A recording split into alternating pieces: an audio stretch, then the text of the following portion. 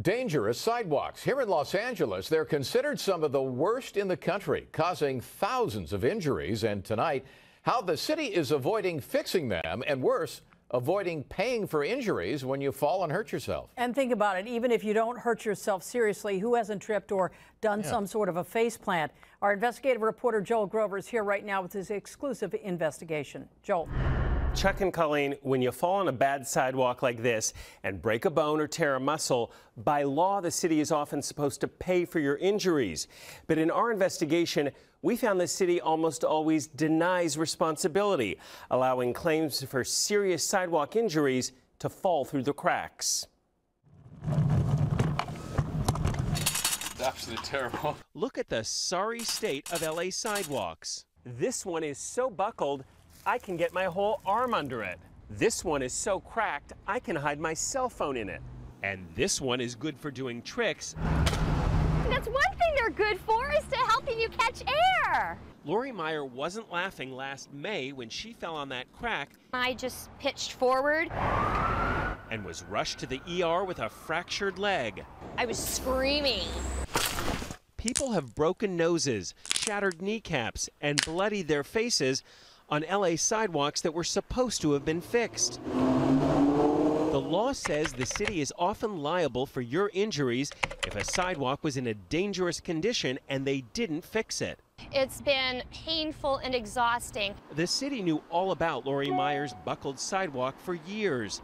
It's right in front of a city building, right next door to a city fire station, and Google Street View shows the sidewalk was buckling back in 2007, getting worse in 2011, and in 2012, firefighters filed this complaint, but the sidewalk still wasn't fixed. If they know about it and they don't fix it and somebody gets injured, absolutely they need to pay a claim.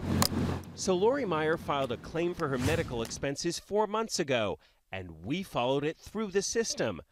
Records we got from the city attorney say they denied her claim on October 22nd. Is it possible the city has denied claims that really are legitimate? Of course, it's possible. City Attorney Mike Feuer says he doesn't want to pay claims if the city isn't really responsible. But it's also possible that someone has tripped and fallen because they've been texting while they've been walking.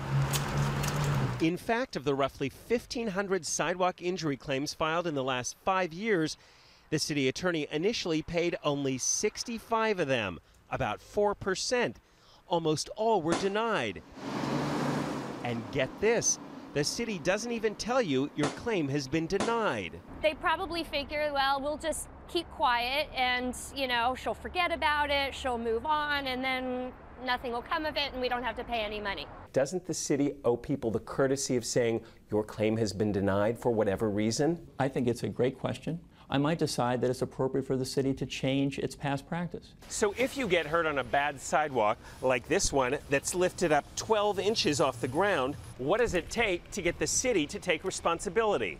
I was down like this on the ground. Ludmilla Klett fell and broke her hip It sounded like on this cracked Van Nuys sidewalk. She sued the city and they settled for $425,000. they try to avoid paying. They try to avoid to take the responsibility. The city isn't sure how it'll come up with the $1.5 billion it says it needs to fix all the bad sidewalks. So for now, injured citizens will have to deal with a claim system that some think is as broken as the sidewalks. These are real people with real injuries, and they feel crummy about the way their city is treating them. I understand what they think about the process, and there may be ways we can improve that process.